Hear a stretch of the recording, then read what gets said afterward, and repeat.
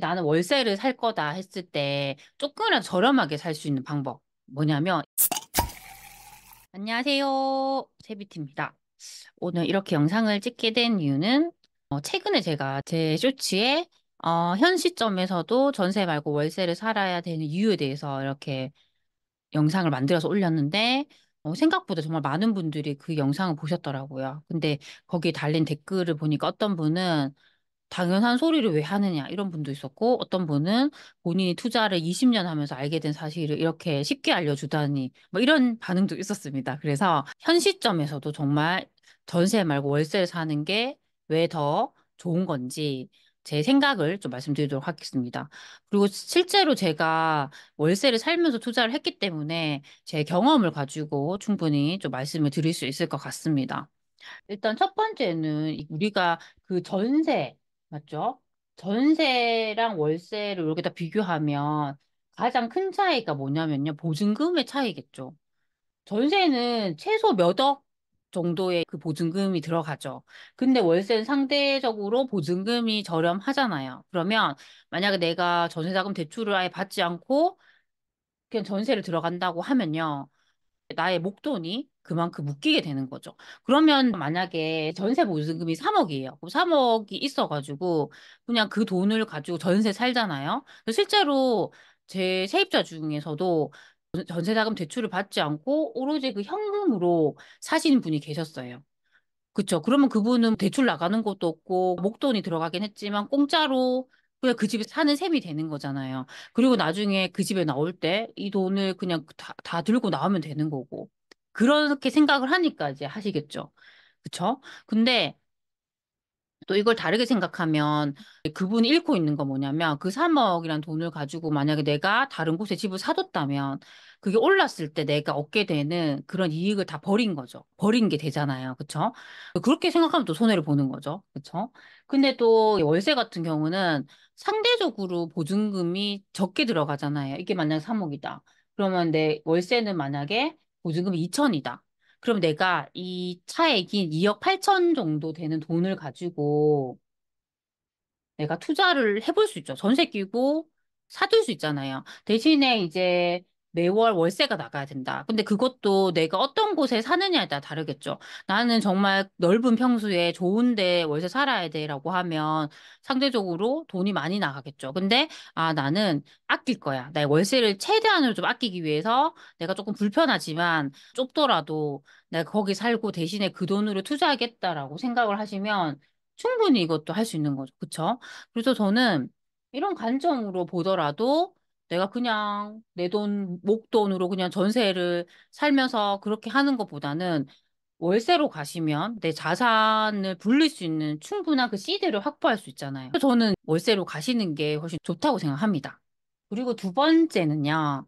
우리가 만약에 목돈은 없어요. 근데 내가 전세를 전세자금 대출, 그 대출 그 요거를 받아가지고 들어간다고 하면요. 어떤 게 생기냐면요. 추가로 주택 을 매수하실 수가 없습니다. 그쵸? 그러면 이것도 어떻게 보면 손해일 수 있죠. 왜냐하면 내가 돈은 있는데 내가 여기서 집을 한 채 더 살 수 있는 여력은 되는데 내가 전세자금 대출을 받았다는 이유 때문에 추가로 집을 하나 더 못 산다라고 했을 때는 억울할 수 있잖아요. 근데 이제 월세로 가시면 그런 제한이 없다는 거죠. 내가 뭐 두 채를 사든 세 채를 사든 아무 상관이 없는 거야. 내 돈만 있으면. 근데 요즘에는 우리가 취득세 중과 때문에 사실 두 채까지만 거의 살 수 있잖아요. 세 채부터는 취- 취득세 중과 8% 이렇게 되니까 부담이 돼서 못 사는 거죠. 그래도 두 채까지는 살 수 있잖아요. 그쵸? 그 차이, 그 차이가 저는 분명히 있다고 생각합니다. 저희가 전세든 월세든 공동적으로 적용될 수 있는 부분이긴 한데요. 이 실거주와 그냥 투자. 투자를 완전히 얘들을 분리시킬 수 있다는 부분이죠. 분리시키는 거죠. 왜냐하면 우리가 실거주만 생각을 하면 내 직장, 내 아이 학교, 내 생활권 한정되죠. 그 안에서 우리가 선택을 해야 되죠. 근데 내가 투자의 관점으로 생각을 하잖아요. 월세를 사는 거는 내 직장 가까운 곳, 우리 아이 학교 다니기 좋은 곳, 거기 월세에 사는 거죠. 그리고 내가 투자는요, 전국에 할 수 있는 거죠. 그러니까 그게 이제 투자와 실거주를 완전 분리시키는 거죠. 근데 지금처럼 우리가 흐름이 다 다르잖아요. 지금 보면 서울이 먼저 흐름이 오기 시작했죠. 그 다음에 수도권이 올 수도 있죠. 그러면 나는 지방에 살잖아요. 내 투자는요, 서울 수도권에 해둘 수 있는 거죠. 영향을 안 받는다는 얘기예요. 그러면 이게 좋은 점이 뭐냐면 더 빨리 오를 수 있죠. 내가 자산 투자를 했을 때 더 빨리 오를 수 있죠. 근데 그게 아니라 나는 무조건 투자와 실거주를 같이 봐야 돼. 나는 지방에 해야 돼라고 했을 때는 지방은 상대적으로 지금 흐름이 느릴 수 있잖아요. 그쵸? 그럼 내가 똑같이 투자를 한다 하더라도 이 상승이 더 더딜 수 있는 거죠. 그만큼의 기회 비용이 발생할 수 있기 때문에 이 투자와 실거주를 분리시키는 게 되게 저는 좋다고 생각합니다. 그리고 이 투자와 실거주를 분리를 시키면 또 좋은 점이 있어요. 어, 내가 월세를 살잖아요. 그러면 내가 살고 싶은 곳에 어디든 살 수 있어요. 어떤 그 바운더리가 있잖아요. 근데 내가 실거주를 한다고 하면 딱 그 아파트, 거기면 살 수 있지만 내가 월세를 산다고 하면요. 처음에 요 동네 살았다가 다음에 뭐 학교나 직장에 뭐 지장이 없다고 하면 내가 살고 싶었던 동네에 계속 살아볼 수 있는 거죠. 저는 그것도 되게 장점이라고 생각을 합니다. 또 팁을 드리면 만약에 나는 월세를 살 거다 했을 때 조금이라도 저렴하게 살 수 있는 방법 뭐냐면 입주자. 어, 입주장을 활용하는 건데요. 만약에 새 아파트가 입주를 하잖아요. 그러면 그때는 전세나 월세 매물이 몰리겠죠.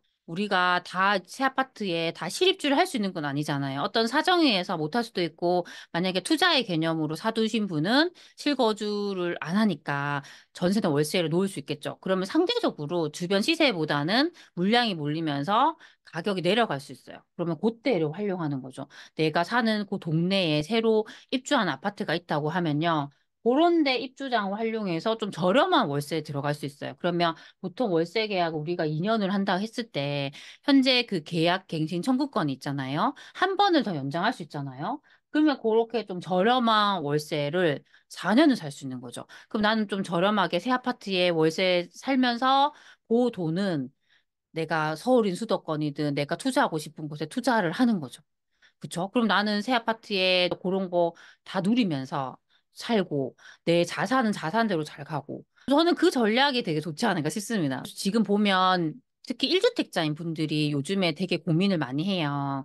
상급지로 갈아탈까, 투자할까, 또 그런 고민을 많이 하는데 만약에 이런 전략, 내가 월세로 사는 전략을 생각을 하면요.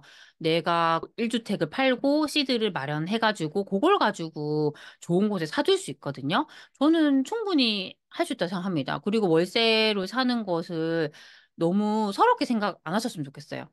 최근에 저한테 질문하셨던 분이 실거주 하다가 월세로 가려고 하는데 너무 고민이 많이 된대요. 근데 제가 어떤 얘기를 했냐면 막상 살아보면 별거 아닙니다라고 했어요. 그래서 저도 원래 7년 정도 제가 실거주 하다가요. 그 집을 팔고 월세에 들어가고 그 시드를 가지고 투자를 했거든요. 근데 저도 처음에 되게 망설였죠. 아, 내가 내 집에 편하게 살다가 남의 집에 들어가면 나 불편하지 않을까? 근데 오히려 전 더 좋았어요. 그때 제가 사는 것보다 상품성이 더 좋은 아파트였는데 월세가 되게 저렴하게 나온 게 있었거든요. 상품성도 좋았고 커뮤니티가 되게 잘 돼 있어가지고 저렴하게 월세로 살고 집주인도 너무 좋은 분을 만나가지고 제가 그렇게 불편한 게 없었거든요. 저는 그렇게 한번 살아보니까 내가 언제든지 월세 살아도 되겠다라는 생각이 들더라고요. 그쵸? 그래서 내가 실거주를 하고 월세로 살고 이렇게 하는 거를 크게 어렵게 생각 안 하면요. 언제든지 나, 의 필요에 따라서 할 수 있습니다. 우리가 유연하게 생각을 하시면 훨씬 더 우리가 좋은 기회를 얻을 수 있다고 생각합니다. 오늘은 전세 말고 왜 월세를 살아야 되느냐에 대한 제 생각을 말씀드렸는데요. 이것도 100% 정답은 없다고 생각합니다. 나의 상황에 맞게 이렇게 좀 잘 취사 선택을 하셨으면 좋겠습니다. 네, 오늘 제가 말씀드린 것들이 우리 소친님들에게 조금이라도 도움이 되셨으면 좋겠습니다. 그럼 우리 다음 시간에 만나요. 안녕.